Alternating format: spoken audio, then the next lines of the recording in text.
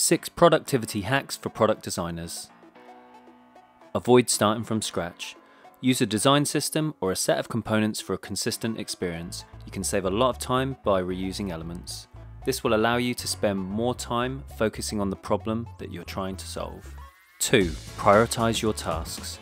Don't get overwhelmed, prioritize your tasks based on their urgency and importance. Create to dos, set deadlines, and track your progress all in one place.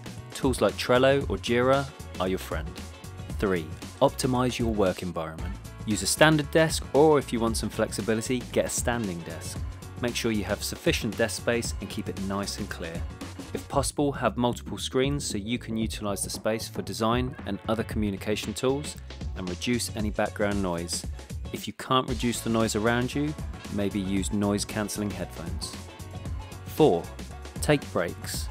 Don't get lost in work. Taking breaks will help your productivity and give your brain a chance to relax. After taking a break, you will come back to your work with a fresh perspective. 5. Work in blocks of time.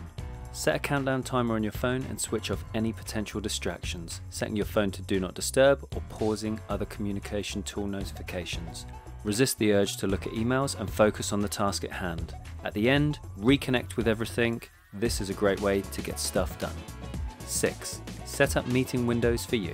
Meetings are unavoidable in most companies, so to help ensure you remain productive, block out windows of time in your calendar.